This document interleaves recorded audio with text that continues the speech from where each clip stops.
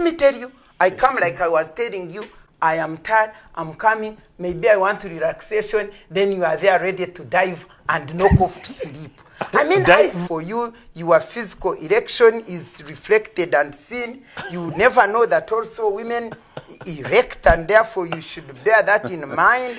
You just come in and dive and go. Let me tell you, you are supposed, the, the woman's sexual organ Yes. is a very wonderful, complex organ No, I agree. which I- must I be agree. which you are supposed to you know discover Compliment. cherish caress You know, has- so that it may give you what you want It can give you what you But want. Miriam, Yes. I thought it was a two-way thing. Exactly. we are now uh, talking sex is a holy act Yes. sex was ordained by God. Oh God. And what makes it holy is that it is one way through which God delegated his responsibility to create a human being to us. And for me to open up my thighs to anybody, my friend. It, it, I, it is It's a disaster. You, you, it is a disaster.